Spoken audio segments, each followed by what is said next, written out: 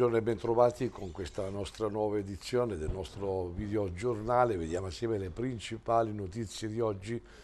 Drangheta Boschi a San Luca, il sottosegretario inaugura il campo di calcio, lo Stato è presente, le istituzioni ci sono qui a San Luca ovunque, non ci sono territori in cui lo Stato rinuncia ad esserci a combattere una battaglia di legalità contro l'andrangheta, una battaglia che insieme possiamo vincere. Ed è questo il senso della nostra presenza qui. A dirlo il sottosegretario alla Presidenza del Consiglio Maria Elena Boschi al suo arrivo a San Luca dove stamani è in programma all'inaugurazione del nuovo campo di calcio del paese con una partita tra la nazionale cantanti e quella dei magistrati. Oggi diciamo, ha giunto la Boschi, che un campo di calcio, lo sport possono essere un modo per superare pregiudizi e discriminazioni ed anche per costruire una società in cui prevalga la legalità sulla criminalità e la parità dei diritti. In campo per il futuro, quindi oggi a San Luca, una giornata importante per ribadire il concetto di legalità. Alla giornata presente il Dipartimento per le pari opportunità della Presidenza del Consiglio in collaborazione con il CSM, con la Prefettura di Reggio di Calabria, il Provveditorato interregionale per le opere pubbliche di Calabria e di Sicilia e il mondo della scuola. La radio partner di questa storica giornata insieme contro le mafie è RDS che supporterà eh, attivamente tutta l'iniziativa. Hanno aderito alla giornata per testimoniare con no all'andrangheta ed ad ogni forma di criminalità organizzata anche il CONI e la Nazionale Italiana Cantanti per lanciare ancora una volta un segnale forte e una grande testimonianza da San Luca, partecipando insieme alla ristrutturazione dello stadio comunale ripetutamente oggetto di danneggiamenti. Il programma prevede il convegno della magistratura nella scuola di San Luca, al quale parteciperanno numerose autorità, istituzioni, personaggi della cultura e dello sport nazionale, coinvolgendo tutti i ragazzi del pianeta scuola della regione Calabria. A termine la nazionale magistrati e la nazionale cantanti scenderanno in campo allo stadio comunale di San Luca. Andiamo a Cosenza, Cosenza uomo in auto fermato dalla Guardia di Finanza confessa di aver ingerito diversi ovuli per il trasporto di eroina. I finanzieri del comando provinciale della Guardia di Finanza di Cosenza lo hanno tratto in arresto per spaccio di sostanze stupefacenti e hanno sequestrato oltre 60 grammi di eroina. L'uomo è stato firmato nelle vicinanze dello svincolo autostradale di Cosenza a bordo di un'autovettura proveniente dal Casertano che percorreva il tragitto di rientro in città a velocità sostenuta. A seguito di un'ispezione del mezzo, con l'ausilio delle unità cinofile, ha segnalato a quel punto di aver ingerito sostanza stupefacente ed è stato immediatamente accompagnato all'ospedale dell'Annunziata. All'interno del suo organismo c'erano diversi ovuli imbottiti di 60 grammi di eroina con i quali sperava di realizzare oltre 300 dosi che gli avrebbero fruttato guadagni per oltre 16.000 euro. L'uomo è stato arrestato e ora rischia la pena della reclusione da un minimo di 6 a un massimo di 20 anni.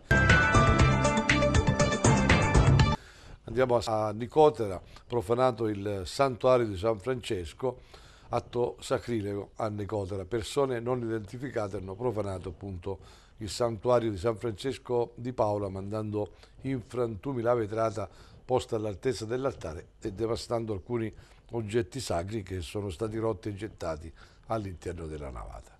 È stato profanato anche il tabernacolo del Santissimo e le ostie gettate a terra.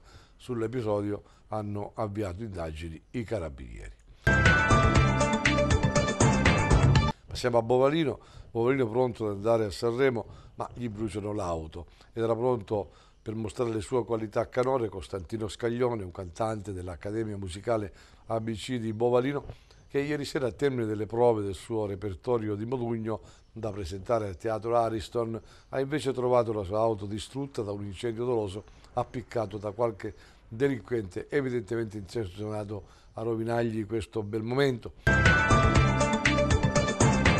Reggio di Calabria invece una notizia di cronaca continua senza soluzione di continuità il controllo del territorio eh, da parte dei carabinieri sull'intera provincia, intensificato anche eh, per contrasto all'attività di controllo allo spaccio di sostanze stupefacenti. Appositi servizi volti a bloccare il flusso di questo spazio sono in atto anche nella città di Reggio di Calabria. In questa ottica i carabinieri ehm, diretti dal tenente Alessandro Bui attraverso il monitoraggio costante dei quartieri più sensibili al fenomeno dello spaccio attraverso l'attuazione di costanti servizi di pattugliamento e posti di controllo della mattinata di ieri 20 aprile 2017 eh, agli ordini del maresciallo Andrea Romano hanno tratto in arresto per coltivazione e spaccio di sostanze stupefacenti Fabio Minutolo, 27enne regino, noto alle forze dell'ordine per reati inerenti alle sostanze stupefacenti.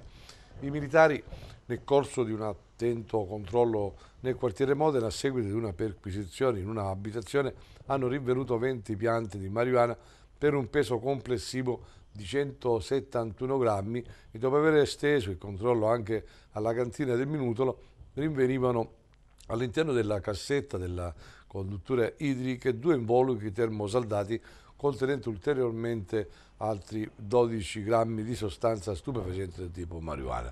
L'ennesima operazione messa a segno quindi dai carabinieri che testimonia ancora una volta la capillare presenza dello Stato sull'intera area metropolitana intesa al controllo del territorio, alla prevenzione ed il contrasto alla detenzione e spaccio di ogni tipo di sostanza stupefacente.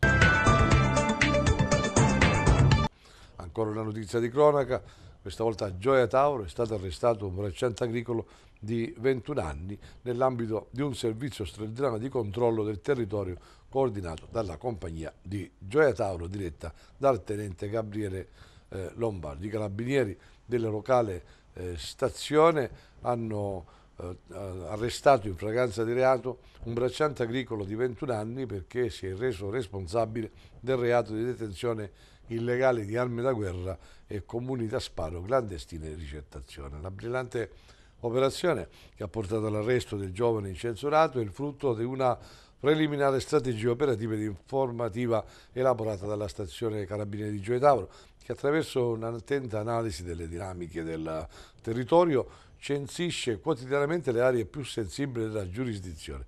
Eh, quindi eh, l'hanno perquisito i carabinieri diversi obiettivi di interesse operativo riuscendo ad arrivare nella giornata di ieri nell'abitazione del giovane, abitazione situata in un territorio, quello di, degli stradoni al confine tra i comuni di Giovetano e quelli di eh, Rossano. I carabinieri all'interno di un uh, fusto hanno rinvenuto abilmente eh, o avvolti in pellicola di plastica una mitragliatrice simile a quella di introduzione alle forze di polizia, marca Beretta eh, Parabellum, con matricola punzonata e relativo caricatore, una pistola eh, calibro 9 e una pistola marca Taurus, eh, tutto in eh, il, il, perfetto stato di conservazione, completamente lubrificate e pronte quindi per l'uso. L'arrestante, ultimate le formalità di rito, è stato associato alla casa circondaria di Palmi su disposizione della PM di turno presso la locale Procura della Repubblica in attesa del giudizio di convalida. L'operazione dei carabinieri della compagnia di Giovetano e dei cacciatori di Calabria conferma anche qui, ancora una volta, la eh, pervasiva presenza delle forze dell'ordine e delle istituzioni generali nel delicato eh, territorio della piana di Gioetauro, da sempre feudo incontrastato delle più potenti cosche di Indrangheta. Era questa l'ultima notizia, vi ringraziamo per essere stati con noi e vi diamo appuntamento alle prossime edizioni. Buona giornata.